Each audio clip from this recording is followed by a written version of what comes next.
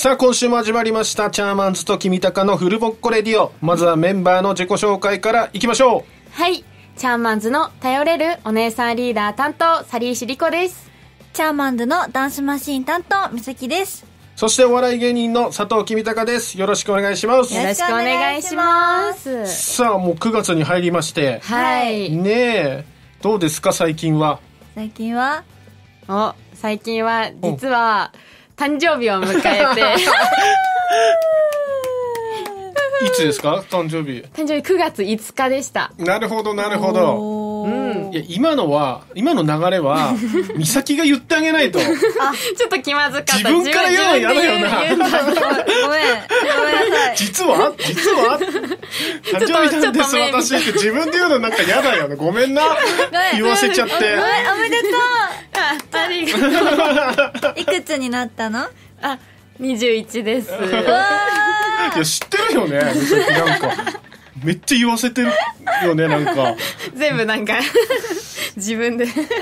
21歳？21 ?9 月歳に。5日ではい。21歳になったと。なりましじゃあ、た。美咲からほら、やっぱ、歌とかね。お、聞きハッピーたいな。バースデーなんですから、生歌。ーハッピーバースデあーよートゥあ、かった拍手を。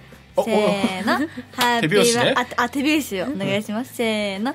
ハッピーバースデートゥーユー。はい。ハッピーバースデートゥーユー。よいしょハッピーバースデーディアリコちゃん。ハモリがついてハッピーバースデートゥーユー同じパート歌っちゃったよ。誰か、メロディーいけや、誰か。二人とも上行っちゃったよね。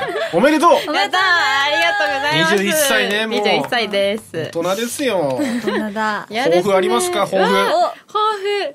でも自分毎回毎回、抱負な、なんだろう、お願い事っていうか、抱負とかするときに、うん。大体強い、うん。強い人になりたいっえ？て答えてて、強い人？はい、強い人間になりたい。雷神、雷神出たいみたいな。年末の雷神に出たいみたいな感じ？それは出なくてもいいかな。その強いじゃないの？ね。格闘技の強さなくて。心の、はいはい心のリーダーとしてとかはい、うんうんなんか強い女性にずっと憧れてて、はいはい。それをずっと目指してきてて、うんうんだから毎年毎年多分行ってる気がするんですあと七夕とか願い事にも？はい。強い人間になれますように。よっぽどなんかね、うーん。今が弱いみたいな感じしない？それだと。もうえ今もう割と強くなってきてなってきてんはい、でももっともっと。なんかいるの？こういう人っていうその、目指す人物像。だって女性で強いリーダーシップある人ってあんまりこうバッて思い浮かばないじゃない。なんだろうな。うん。なんか特にないんですけど。うん。けどなんかなんとなく。どうなりたいの？その男でもいいや。そのリーダー、こう強い人って言ったら誰を思い浮かぶの？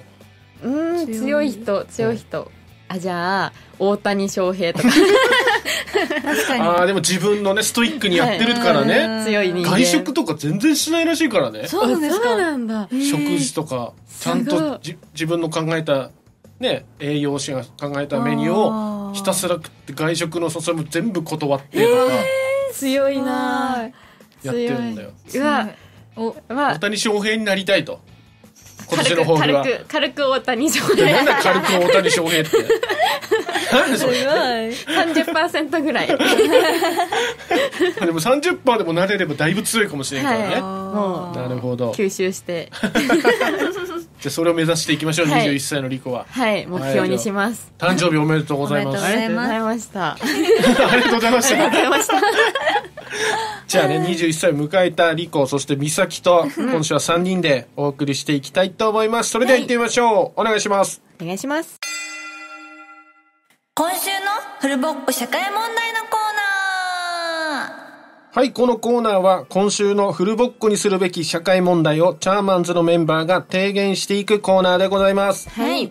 今週のテーマは、世界各地で起こっている山火事問題です。まあ、話題になったハワイのマウイ、マウイ島の他にもですね、まあ、カナダだったりスペインギリシャイギリスフランスポルトガルなど世界各地でですね山火事が起こっているとい。うことなんですけども2人はこのことについてどう思うかと。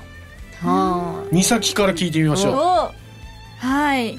なんか、山火事オーストラリアで、うん。その山火事が起きてるニュースを見たニュースで、うん。えー、ニュース見るの？見ニュース好きです。ついてたのかな？テレビがね。ああ結構見見たい方です。ええ見たいいいことだあねりがとうございます、その時にそのコアラオーストラリアってコアラが有名じゃないですか、そのコア野生のコアラがうん。足とか手をやけどしてしまうっていうニュースを見て、うん。すごいなんか人間たちが起こしてたことで動物までこう被害が与えてるってことがもう社会問題っていうかもう世界問題っていうかもう何地球問題っていうかすごいなって思いましたね。大問題だよな。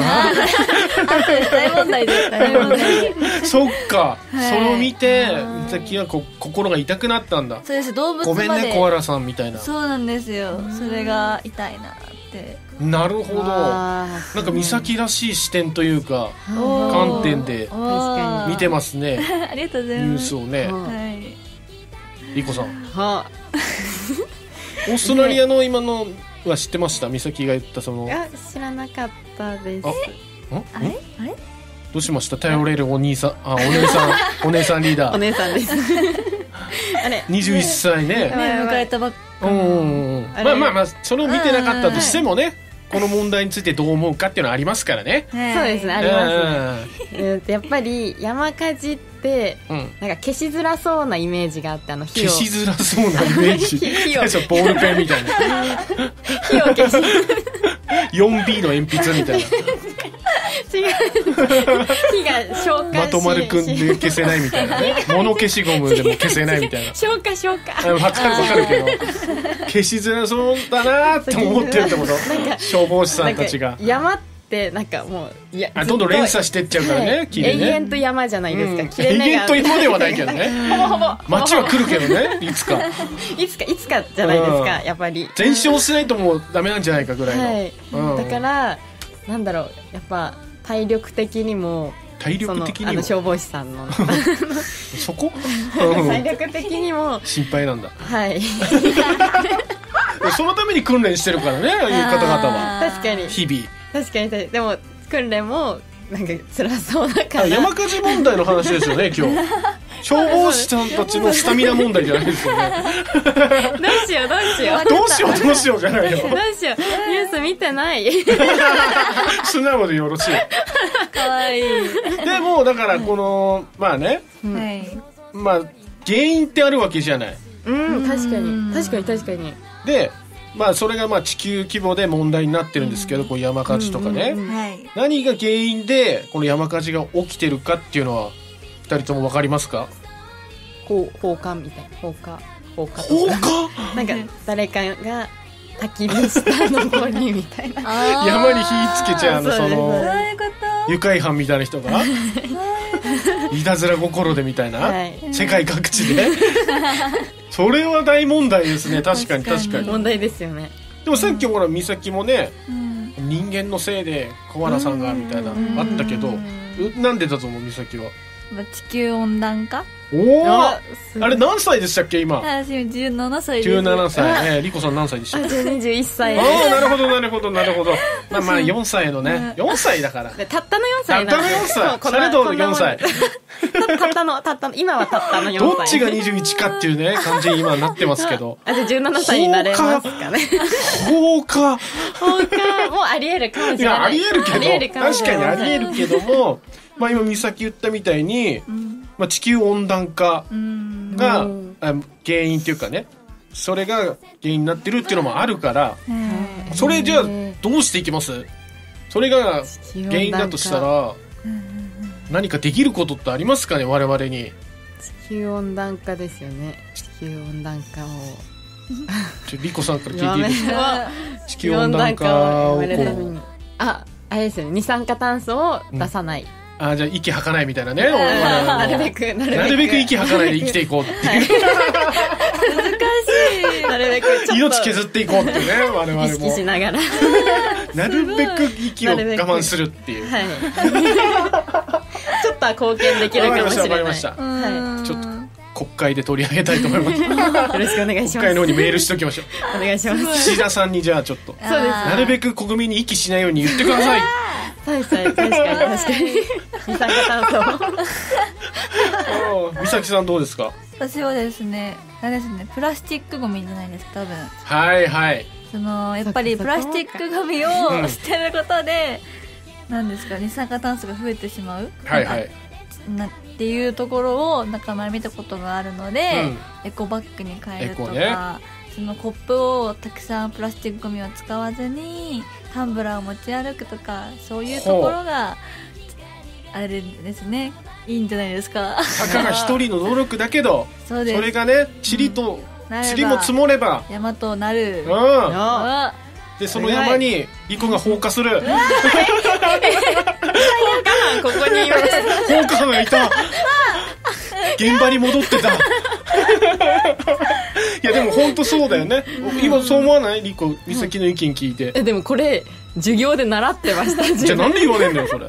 なんかどうどうつながるのかなって思っててえ？なんかあれどうつながるっけ？どうつながるって地球温暖化とプラスチックのつながりをちょっと忘れちゃって あこれ違うやつかと思ったらああこの授業かと思って。あ授業で理解今理解しました。一人ね自大学の。分なんかが自分や一人ぐらいやんなくてもみたいに思わずに、そう美咲みたいにそういう考え持ってる人が一人でも増えればうん。ちょっとでもってことだよね。うんそうです、そうやっていきましょうこれ。そうですね。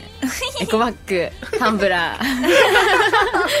なんかリコが言うと嘘くさいって安っぽく感じる 急に。エエコバッグタンブラーですよね。コバッグタンブラー。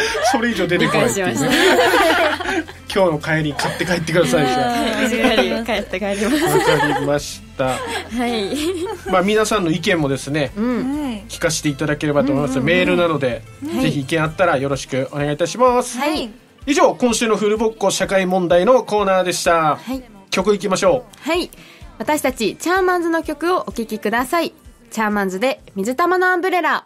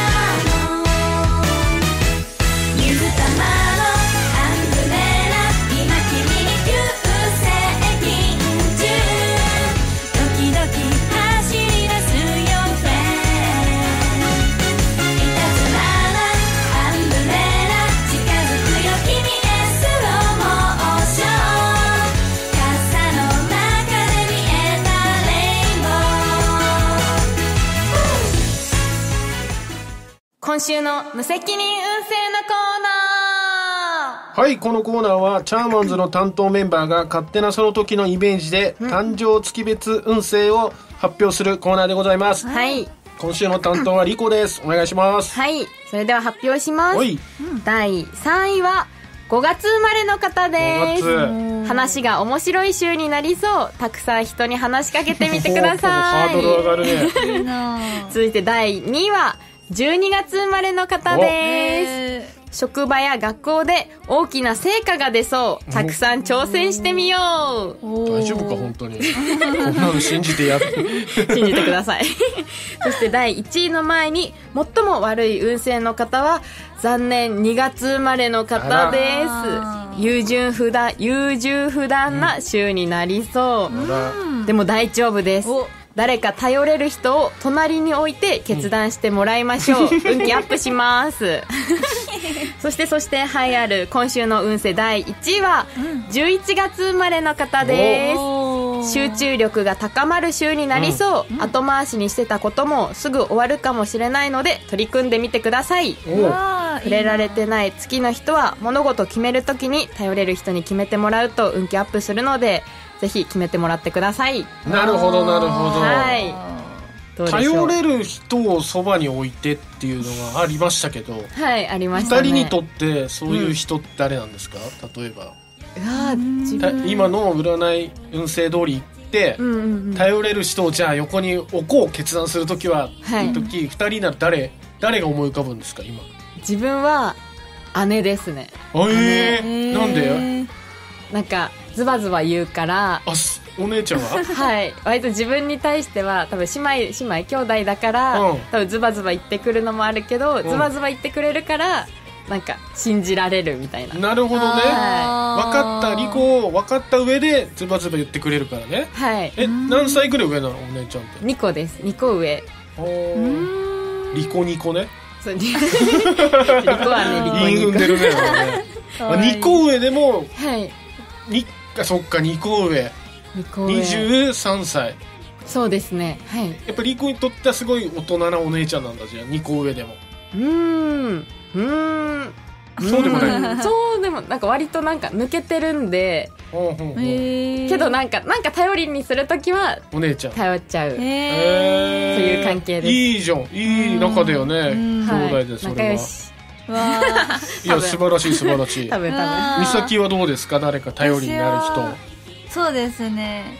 えー、ちょっとじゃあ、うん。リコちゃん。人おさすが頼れる。あお兄さんリーダー。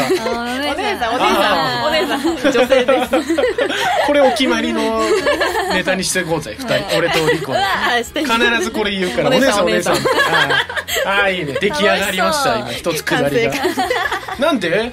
やっぱリコちゃん何でも知ってるし。そう？あれれれエコバッグとか知らなかあったよさっきそっかそっか。タンブラーとか。やっぱ上ってことでえ 年が？年が、うん。だから高校のこういうとことかも経験上話してくれたりとか、すごいどこ行こうか大学迷ってるんだよね時とかも リコちゃん。ガチ問題じゃん。すごいなんか。ガチ悩みじリコちゃんすごいなんか話してくれて。なるほどね。こう思ったんだよねみたいなのを聞くとああやっぱ一歩先は歩んでる人だなっていう未来人？そう。未来人。未来人に年取ってないなっていうね。4個差たったの4個差ですから。そうね。そういうところがやっぱいいなって思いますね。いいね。うん。嬉しいでしょ？あそうやって言ってもらえる嬉しい。まさかの言われるとは思ってなかった。びっくり。言ってほしかったでしょ？でも言ってもらえたら嬉しいなと思ったでしょ今。確かに。それでちょっと入れてみました。うわ。あ怖い急に急になんか怖くなっちゃった。急になんか目線が怖い。まあまあまあ。じゃあ皆さんもねはい。頼れる人を隣に置いてうん。はい。決断の週にはい。していきましょう。はい。してください。はい。以上今週の無責任運勢のコーナーでした。はい。チャーマンズと君高のフルボッコレディお酒と一緒に基礎教養を学ぼうのコーナー。オイエーイ。はい、このコーナーは、美咲と一緒に基礎教養を学ぼうというコーナーになっています。ああ大好きですこのコーナあー。ありがとうございます。美咲先生。はい。今週は何を教えていただけるんでしょうか？はい、今日は、株ええカブー、株リコわかりますか？株株って聞いて株って何ですか？リリコか株って何ですか？株とは株とは何何ですか？いやいやそれを聞いてるんだよ。なんでオウム返ししてくるんだよ。株ちょっと曖昧なんですよね。曖昧なんだ。リコの中んない。でまだ株は曖昧な曖存在昧なんだ、はい株とは何か。あ 今日は先生がそうですね大先生がいらっしゃるので。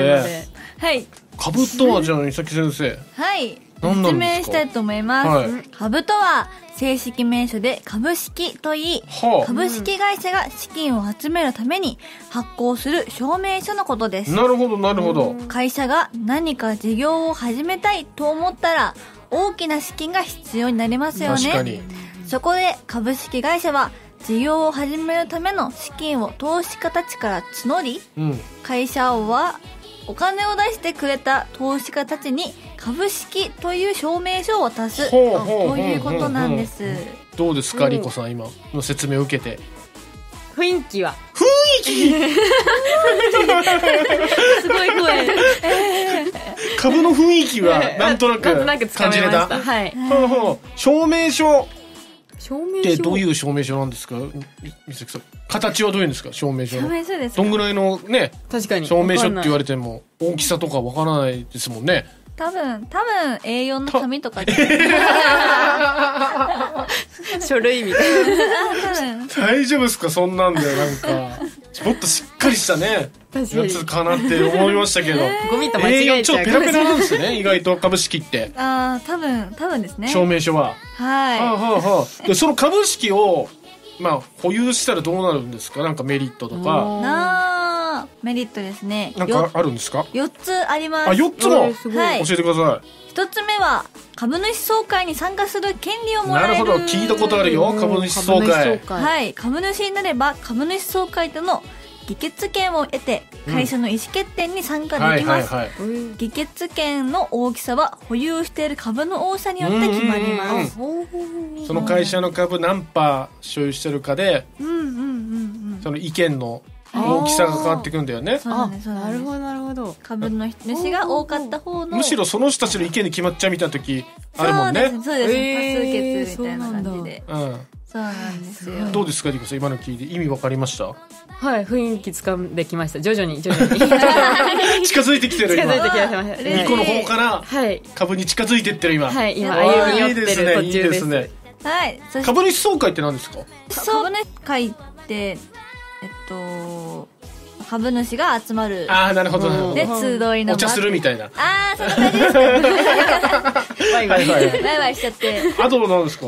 そしてですね二つ目配当金を受け取る権利をもらえます。なるほど株主になれば配当金をもらう権利が発生し、はい。会社が利益を出した時にその一部を株主に還元してくれる、会社が配当を実施している間は継続して配当金を受け取ることができます、なるほど。はい、配当金がもらえると。はい。そしてなるほど。三つ目、うん。持っている株を売却する権利をもらえます、はい。はい。そうなんです。自分が買った価格よりも高い価格でうん。他の人に売れば儲けが出ますよね、うん。これをキャピタルゲイ売却益を得るといい株で儲ける最も一般的な方法です。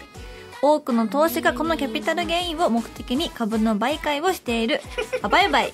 あ株の売買をしているます。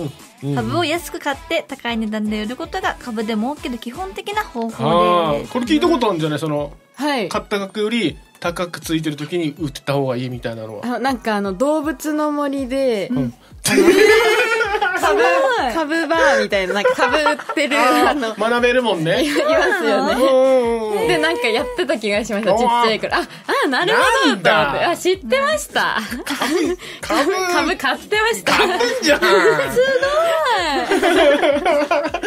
そうなるほなんだ。ねどと思って。確かに。なるほどなるほど。確かに。確かにはいちょっと勉強になりますねこれ。わあ。りがあとうございます他にもあるんですか？はい、そして4つ目、株主優待を受けるあ権利をこれね。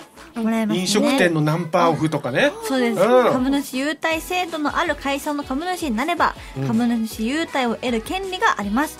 株主え優待として、うん。自社製品や、うん。自社製品や自社商品割引券など会社によって提供される商品やサービスは様々になっております。そうもうななんんならこれで生活してる人とかいるからね。あーなんかテレビで見た時 自転車で走り回ったりしてる人ね。ああなるほど。なるほど。どうですかリコさん今？今日学びましたけど、はい。総括。総括。今日学んだことでもあれですよね。いいいい会社の株買った方がいいってことですよね。あの買うならば。買うならば。みんなそう思ってるけどね。そうですよね。あと将来的に伸びんじゃないかとかね。自分で。その見極めを自分ら頑張ればいい。ですよね。なんかそれっぽい。それやったとかじゃないの？別に。やったとかじゃないの？これ。勉強になりました先生。ありがとうございます。ありがとうございましたはいでは以上美咲と一緒に基礎教養を学ぼうのコーナーでした。はい曲いきましょはい最後も私たちチャーマンズの楽曲をお送りします。お聴きください。夏君ダ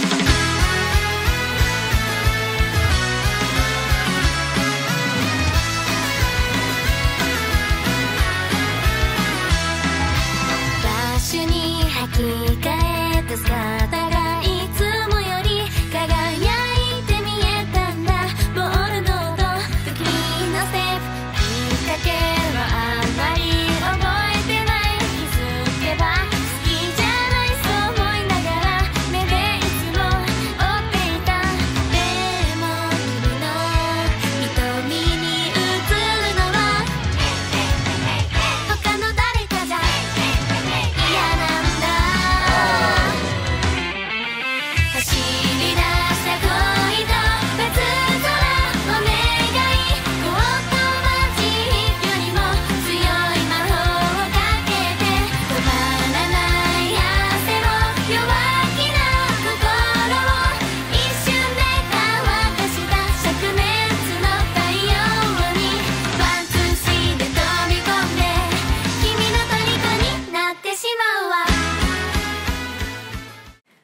今週末のチャーマンズ情報です。